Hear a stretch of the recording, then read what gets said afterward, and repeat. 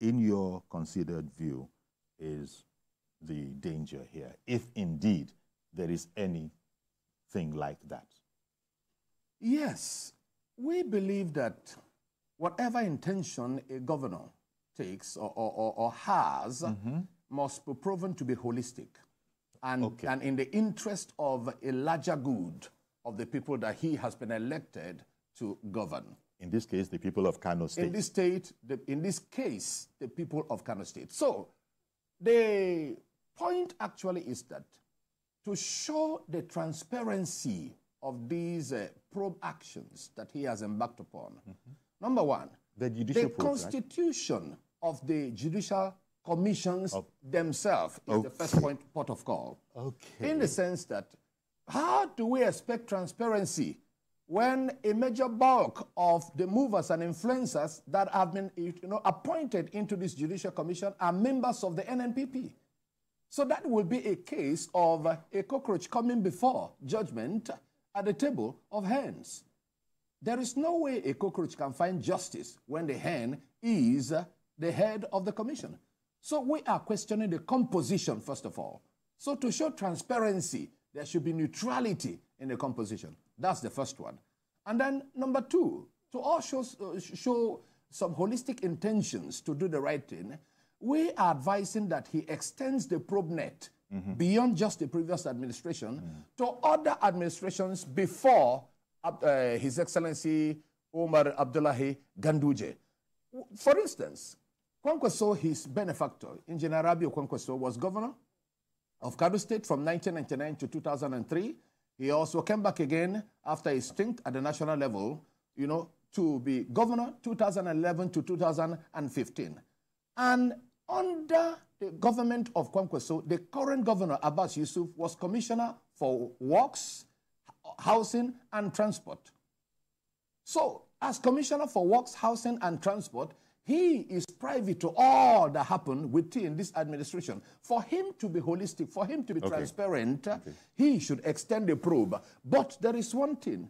And where, where, where, it is important, the, the he will not the, dare to extend the probe. You just mentioned that, that, he was commissioner will, for works, and will, a road, a major road, is a key part of all of this. That will implicate both him and his benefactor, in the sense that under his watch. Okay, let me spell out. The three mandate of the, of the Judicial Committee was number one, misappropriation of public properties. Mm -hmm. Number two, political violence. And number three, missing persons. Okay, to talk about misappropriation of political uh, uh, uh, uh government or public properties, under his watch as commissioner for works, housing, and transport, a bulk of houses and public properties were sold or given as gifts to families and friends right under his watch. That is so the chairman, uh, Chairman Kwankwaso. No. I'm talking about the present governor. Okay, okay. He was commissioner for works, housing, and transport under Kwankwaso when these, you know, atrocities were committed. Okay, when Kwankwaso was governor. Yes, when Kwankwaso was governor, he was commissioner under Kwankwaso. So, to extend the probe backwards will justify, it will present a transparent ground for him to be able to, to look forward. So, if at all you decide to look back, please look back further enough so that we can be able to see the, the, the sincerity of your intentions. And then you are talking about road. Under the administration of Kwankwaso, five kilometer roads were awarded to the 44 local governments of Kano State. And all of them, funds were allocated to it. But the, the, the execution of those, those, those roads is something we never saw. They are still in question till today. So what happened to those ones? In case he is blinded by loyalty and he cannot see the reason or the facts under Kwankwaso administration that around a, the extension of the probe there, we are willing to help him with facts. That is one of it. And then number two, Kwankwaso's presidential campaign in Lagos. You know, every of the local governments in Kano State, 44 uh, specifically, were mandated to donate 700 million each. That amounted to billions of naira.